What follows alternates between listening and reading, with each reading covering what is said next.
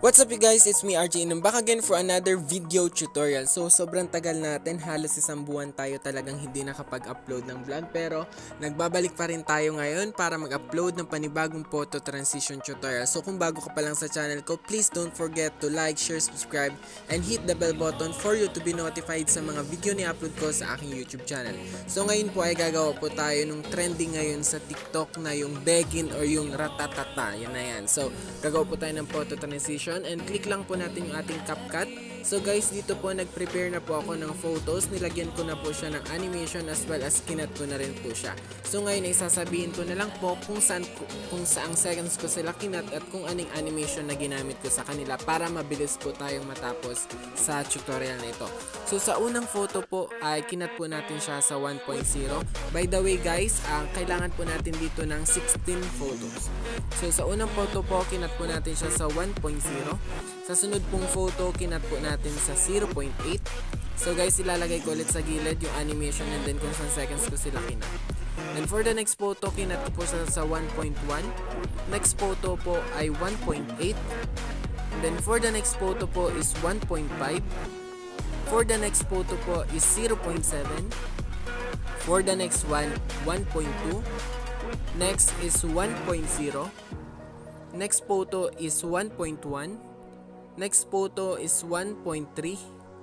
Next is 1.8. For the next one, 1.6. Next is 1.6. Next photo is 1.7. Next is 2.2. Next, or for the last one is 1.5.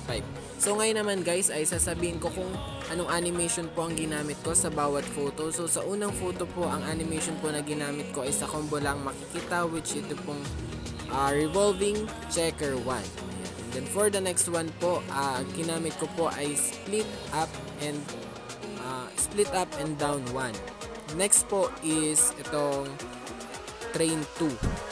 For the next one, ito pong pendulum 1. Next po is train 1.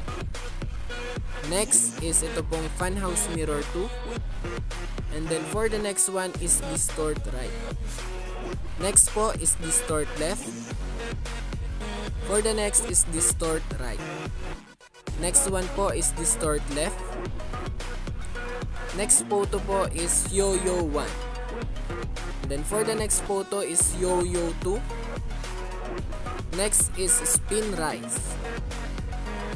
For the next one po is slip and slide 1. For the next photo po ay spin.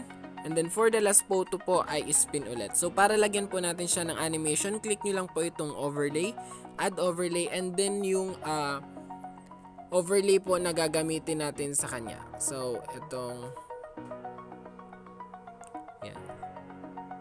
And then make it sure po na yung source po or yung name po nung pinagkuhanan natin ay hindi po makita nang sa ganun ay maganda pong tingnan. And then click nyo lang po itong splice and kahit uh, adjust nyo na lang po itong opacity niya sa 55.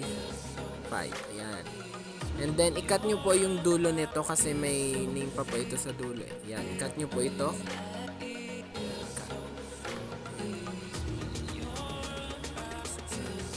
Natin. And then, dun po sa pang fit, pang 7 na photo, bilang po tayo 1, 2, 3, 4, 5, 6, 7. So, dito po sa photong ito ay lalagyan po siya natin ng effects. So, click nyo po itong effects. And then, hanapin nyo lang po yung ah, dito po sa party. Dito po kayo sa party. And then, hanapin nyo po itong nasa baba. Ito po